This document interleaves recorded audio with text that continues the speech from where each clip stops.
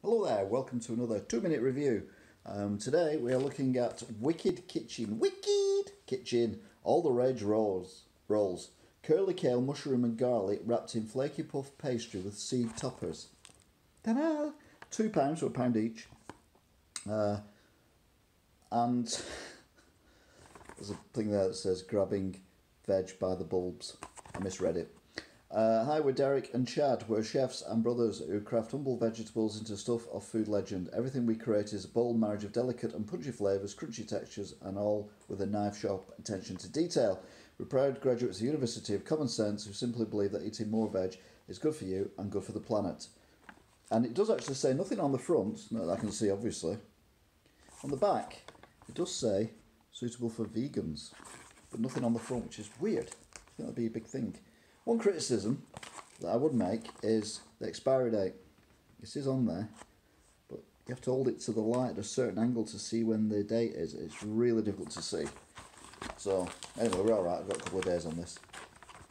So, here's one of them.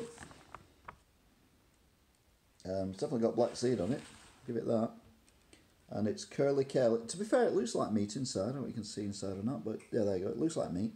So what does it taste like?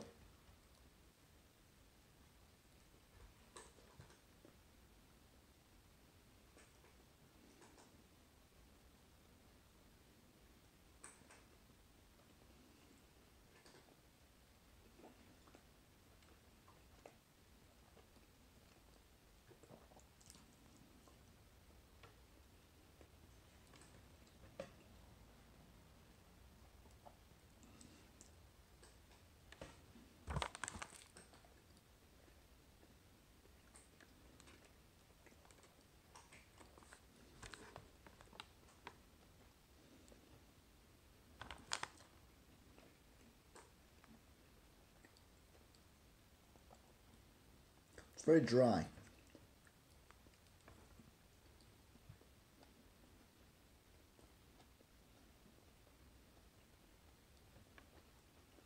It's got palm oil in it. Oh dear.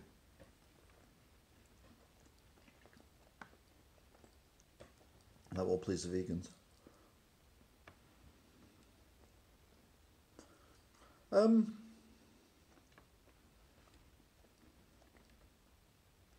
It's not as unpleasant as I imagined. It's got a bit of spicy, tingly stuff going on. So surprisingly, even though it's a bit dry, I'm going to shock myself here. Four stars out of five. It's actually wicked!